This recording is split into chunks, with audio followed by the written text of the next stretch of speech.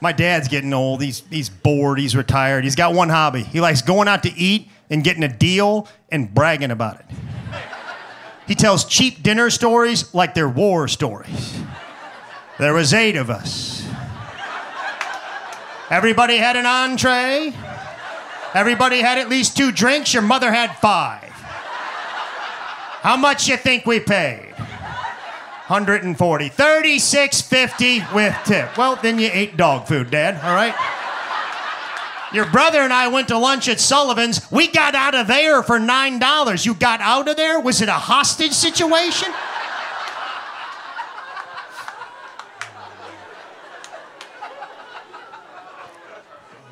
Everything in my parents' house is broken. We play chess. There's six pieces missing from our chess set. So we replaced them with pieces from my mom's nativity scene. Playing chess with the Virgin Mary, goats, wise men.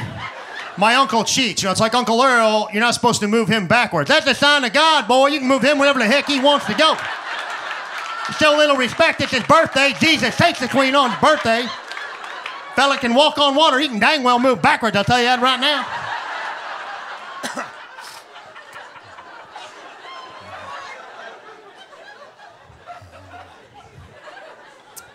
I, I live close to my uh, my family. I live like a, a, a mile from my parents, and uh, it's in St. Louis. It's nice to be there. I uh, I haven't lived there in a long time. I live, I've moved all around. I uh, I lived in New York for uh, for four years, most recently. I don't know if you guys have spent any time there. Um, here's New York. If you haven't been, I got some luggage when I was there. I got one of those roller bags that you pull behind you, and the handle broke off, so I had to pick it up and I had to carry it. And I was walking through the city and I passed this guy and he goes, Hey, this got wheels. You don't have to carry it. He thought I was that dumb and he was that smart. Like in his head, he was like, I see things that other people don't see.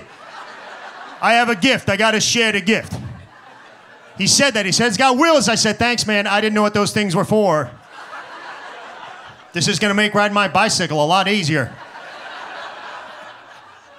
it's a different place. You know, it's uh, there's crazy people in, in New York. There there's crazy people in Nashville, but usually you're in a car and and they're not. You know, you just roll up the window and they're gone.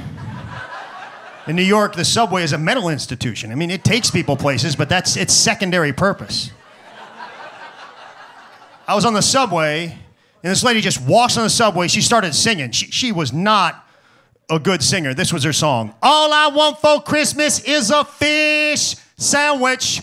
All I want for Christmas is a fish sandwich. All I want for Christmas. I was like, that's not a song, lady. Guess what song has been stuck in my head for the last six months? That woman should not be homeless. She's a hit maker, okay? She may be one of the greatest lyricists of our time. I've heard 11 Taylor Swift songs. I don't know the words. I know all the words to Fish Sandwich. And guess what? Nobody's wondering what to get her for Christmas. You know that one woman that rides a train? I was gonna get her a gift, but I just, dude, she wants a fish sandwich. You gotta listen to the lyrics. You're getting caught up in the beat, man. Thanks very much. Thank you very much. Thank you, Nashville.